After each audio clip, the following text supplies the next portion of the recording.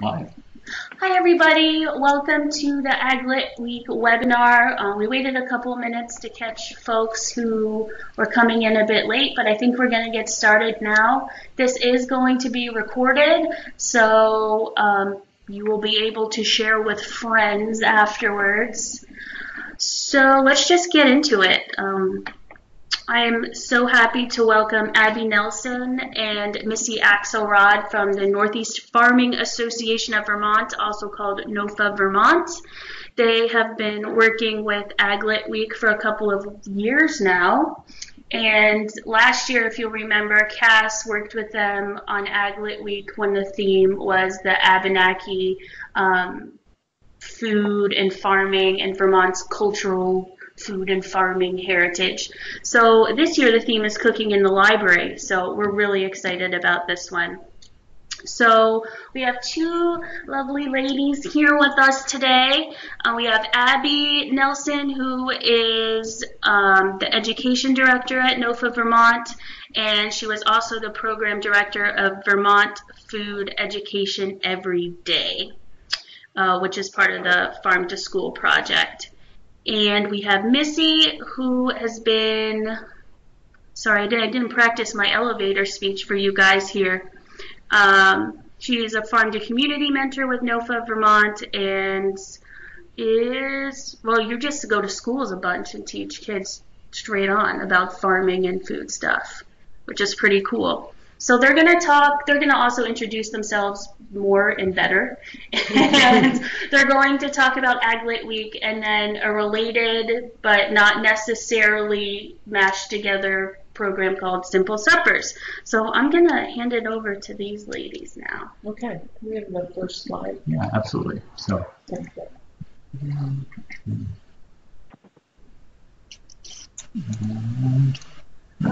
Okay, so Abby Nelson uh, with NOFA Vermont, and uh, NOFA Vermont stands for the Northeast Organic Farming Association of Vermont, and we not only promote organic practices in farming and sustainable practices, but our aim is to build an economically viable, ecologically sound, and socially just Vermont agricultural system benefiting everyone.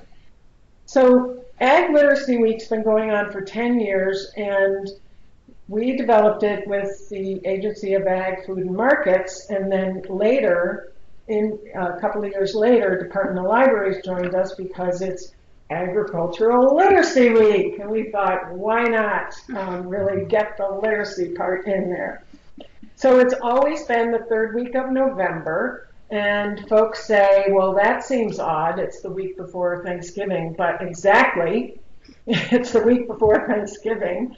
And um, it's a great time to appreciate the harvest uh, here in Vermont. And it's a great time to sort of kick off the um, celebrations and seasons that are coming. This year in particular, so yes, um, as uh, Jennifer said, it's cooking in the library, which uh, was um, a great idea because we're doing a lot of cooking with kids um, other than in libraries, and we thought we'd meet the two together. And in that, um, we're offering a couple of different ways of celebrating. So Ag Literacy Week is November 18th to 24. Oh, there's another. Hang on, we're going to another slide. Okay,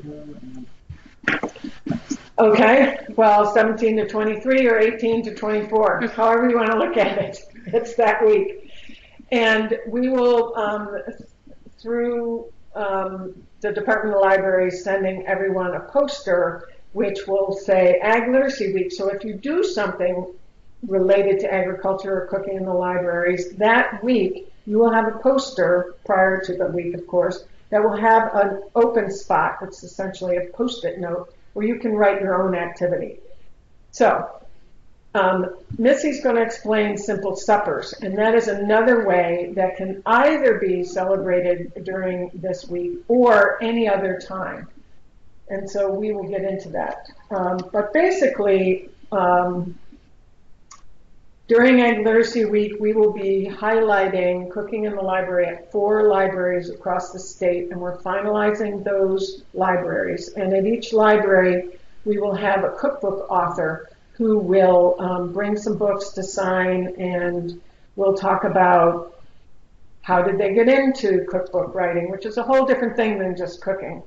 Um, and you know, what are they finding out there in the world around cooking and what's this bit about cooking with kids?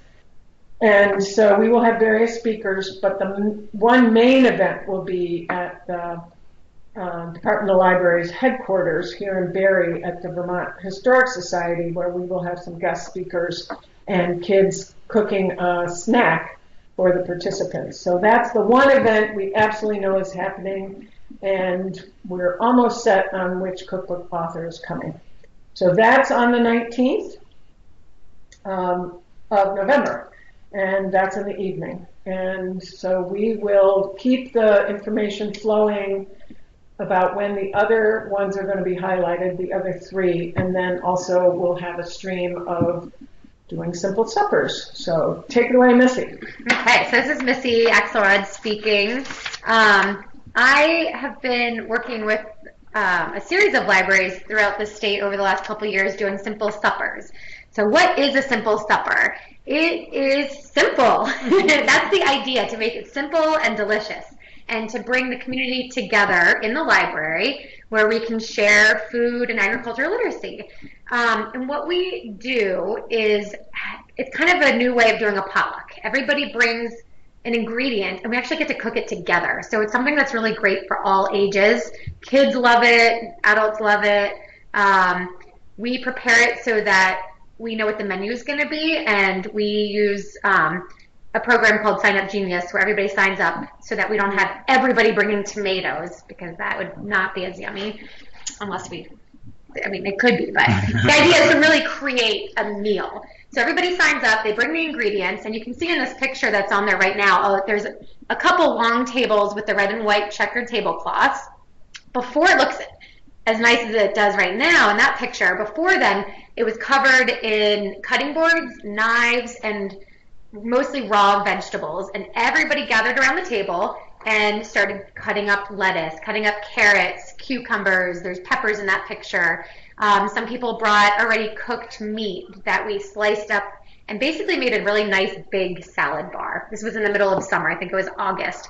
And then, so we had a salad bar, and then we had um, some homemade baguettes that some community members mm. brought. Some people brought in some Vermont baguettes from the store. Um, I think for this dinner we had mozzarella and basil and tomatoes to make bruschetta. Um, and then for dessert, we had strawberry shortcake. Um, and so the shortcakes were already prepared, and the strawberries came there raw, and then we had some cans of whipped cream. So it was kind of a, assemble your own dessert. So everybody was cooking around the table. Once everything was prepared, we clean off the table, make it look nice as a buffet, and we get to enjoy the food together. Uh, next slide, please. So why, what, and I'll talk more details about that, of the how-to in a little bit, but why host a simple supper uh, at the library? What a weird place, huh? The idea is that you can do it inside or outside, depending on the space. You don't need a kitchen. We try to design the menu so you don't have to use a stove top because not many libraries have big kitchens. Um, but the idea is to bring the community together, bring in um, patrons that might not be patrons yet, but might end up signing up for a library card, uh, bring in regular um, library patrons and everybody come together. Typically, people end up meeting a lot of new friends when they are standing around cutting up vegetables. Kids are learning how to use a knife. You can see in this picture, I actually have some kid safe knives. That white one that he's holding is, you can't cut yourself with it, so the kids are able to jump in and help. Um, and everybody's just laughing and having a good time. Not everybody helps prepare. Some just stand off and talk and get caught up, but probably about 80% of the people around the table um, and yeah, that idea is just to bring everybody together. Slide. So what is it like? Um, we were really lucky. We had a sunny day. If we didn't have a sunny day, we would have just moved the tables into the middle of one of the larger rooms in the library, and this is the Kimball Public Library in Randolph that's in this picture. And it's not huge. There's not huge open community rooms, but we're able to move a few chairs or tables and create that space inside if need be. Um, so it's just fun, it's simple, it's relaxing, um, and delicious. Next slide. So I talked a little bit about how it benefits the library. It brings new people from the community that might not otherwise go to the library. Um, it brings somebody that has, is regular at the library, brings uh, kids of all ages, older people of all ages, um, just a nice mixture of people. So, sounds fun and delicious, but what does it take to make this happen? I will let you know. Next slide. Um, one, it takes a farmer because without our farmers, we wouldn't have the yummy food. So we always try to invite a local farmer to come and be a part of the event. They typically bring some food to share with everybody. Maybe some of the other community members will bring food from their that farm to celebrate. And the idea is to learn a little bit about what's going on in the community and the community farms so that we have that connection and we know our farmers. Um, and it's a really great way for them to celebrate and also share their knowledge and share a little bit about what they have available for the community to enjoy. Um, so if you're interested in hosting, um, not yet. Oh. Um, so if you're interested in hosting one, there uh, is a sign up sheet that you can go ahead and um, sign up your library, but it's really going to be up to you to execute it. But I'm here for support. So on this page right now is my email and my phone number. And then on the bottom is a link that you can open up that has a bunch of documents to help you walk through everything. So the first document on the very left is a list of um, what do you need to make this happen. Um, there's a couple of different ways you can do this. You can ask through Sign Up Genius for community members to bring cutting boards and knives and soup bowls and tablecloths, and that way you don't have to worry about it. Or you can um, procure all of that yourself and leave it in the library and have it as part of a lending library. Or maybe you have it from home and you want to bring it from home. You can really go either direction, but this is just a suggested list of items that you're going to need to make this possible for everybody to cook together. So we're looking at cutting boards, knives, small bowls for putting the cut vegetables in, soup bowl. Um, if you're doing a late fall or winter one, I like doing stone soup. And most libraries don't have stove tops, so you can plug in an Instapot, which mm-hmm. cooks really fast. Uh, the soup could be ready in about 30 minutes. Um, go to the next page. Oh, sorry. Um, can you pull up another tab? Oh, okay. Sorry. Sorry, that's okay. Uh, sim- yeah, sample event layout. Um, so what can the evening look like? I mean, you can do this on a Saturday day, sun- Sunday day. You can do it in the evening. Um, if you're doing the evening, I recommend having everything set up starting at 4 o'clock, having food prep stations set up, so just tables with tablecloths and your cutting boards out. Um, people arrive around 5. They tend to trickle in. Um, so we just give a kind of a brief introduction. Welcome everybody, let's get cooking. And so everybody goes and finds a cutting board and starts cutting. Sometimes they need a little bit of encouragement. They might need to know where to go in terms of what needs to be done. So just a little bit of directions helpful. And then everybody prepares for about anywhere from 30 to 40 minutes. And then while things are still cooking, like the soup, you can have an introduction from the librarian and then introduce the guest farmer and the farmer can show a slideshow on the farm or talk about the farm a little bit and then everybody eats somewhere around 6.20 to 7 o'clock and then some cleanup. Um, so that's just a suggestion of how an event can look. And then what uh, there's a tool in the, yep, uh, that's it. Um, so the one last suggestion is to use signupgenius.com, and in there you can put in how many um, peppers you need, how many potatoes, and then people can sign up for it, um, which is really helpful so that the library doesn't have to worry about procuring those ingredients. Um, next slide, please.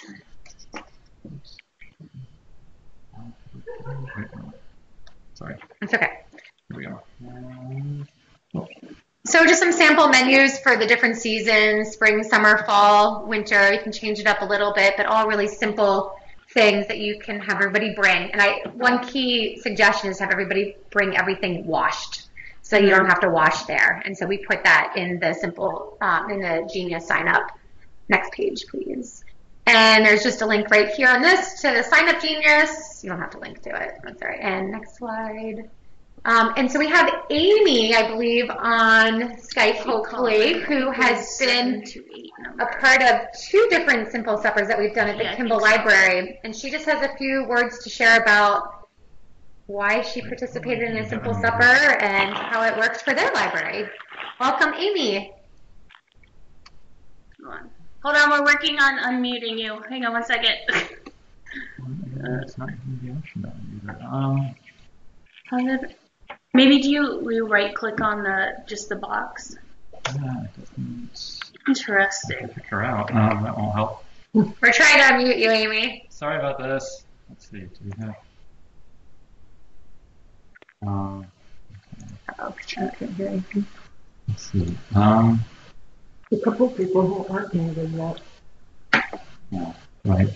Just able to. Okay, it's saying. Maybe s- if she's Oh, calling from a phone, it's, Is she muted on? Uh, Amy, might you be muted on your end? Possibly. You're on a phone, so that doesn't make a huge amount of sense. But it's not giving me the option of unmuting you. Um, let's see. Maybe hang up and call right back. That um, oh, that might be a good idea. yeah, Amy, would you mind? I'm sorry. Uh, if you could um, hang up and then call back, maybe we can see if we can get you back so you're audible. You want to mute the other two guests? Okay, she's gonna come back. Amy will be with us in just a minute. Do you want to, um, anything that you want to say about? So that one of the things how I do they suggest. find- How do they find a farmer? How do you if find a farmer? Good already? question. So we at NOFA, nofavt.org, has a directory of farmers, and you can search by county and by town. Um, and so you can find farmers that way. If you're having a hard time finding a local farmer, you can email me and say, I'm in Dorset, I need a farmer, and I can help make a connection. We have the Hi Vermont. there. Hi, Yay, Amy. Amy. Sorry about that. Okay.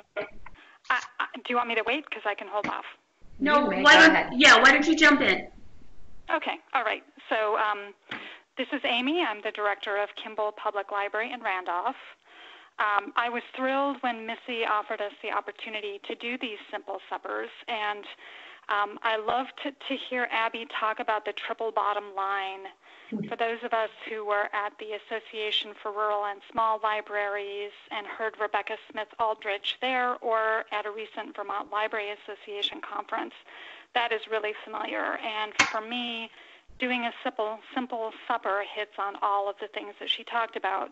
That we do things that are economically feasible, that are socially equitable, and that are good for the environment. So this was perfect as far as I was concerned to have this opportunity. Um, it was super easy to pull off, I think mostly because Missy did the heavy lifting. Um, even without Missy doing the heavy lifting of, you know, bringing the cutting boards and all of that, I, you know, to me, this is not a big, scary um, program to put on. I think it'll be quite simple, and I love the idea of um, inviting people to bring cutting boards and knives and all of the things that you need to to um, carry it off. Um, I will also say that at Kimball, we're attempting to cut back on how much disposable um, flatware and paper plates and stuff like that that we use, and it has become quite acceptable to ask people to bring their own plates, flatware, beverage glasses, and so I, I think that would be a fine way to go. Um, one of the things that we did at uh, this summer's Simple Supper was to try to link events. So June's full moon is the strawberry moon. Um, we also um, you know, Strawberry Moon, Strawberry Shortcake for the Simple Supper, um, with the theme of the summer reading program being space. Um, we also had a screening of Chasing the Moon from American Experience while we had a, a screening of their preview. So all of those things tied together. The sad thing is, and you might have guessed that from the down coats that people were wearing that evening, is it was overcast and cold. So um, although we borrowed a telescope uh, from the Cutler Library in Plainfield, we weren't able to deploy it. So that was kind of a bummer. Um, on the other hand, um, people came out for different parts of the event and ended up cross-pollinating, which was great. Um, two hot tips. One is that some kids like to participate in the in the meal prep and some don't. Um, so this time around, we had a um, table set up with simple crafts that the kids could play with if they wanted to. We had Legos set up so that there was something to keep them occupied. Um, and the other hot tip is that if you decide to go with the strawberry shortcake for dessert, which is delicious, by the way, um, just call on me and I'm happy to share the recipe for a sheet pan version of the biscuits because otherwise, what a pain in the neck. Um, and last but not least, and then I'll get off of here, um, I got really nervous, less so the second time than the first time, but the as we're coming up to the date of the event, I'm thinking nobody is signing up to bring ingredients. What are we going to do? Um, I encourage folks um, to go ahead and live with that discomfort. It turns out that, at least in my community, people were signing up two days, one day before, or the day of to bring mm-hmm. ingredients. So it worked out fine. It worked out fine. So that that's my contribution to this. Uh, do it. It's a great event. It's wonderful. Thank you, Amy. Thank you. Bye bye. Great. So I think now we can yeah, open does, it up to questions. Does anyone have any questions? Josh will Josh will successfully, we hope, unmute anyone who has a question. Um, how do they indicate? Let's see. Here's Hold on. I'm gonna just. Um, also, if you have a question, you could put it in the chat box, um, which is that little in the bottom left of your screen, that little thing right there. Um, you can, it looks like a little talking bubble. You can put your question in the chat, and we'll um, can address you that way.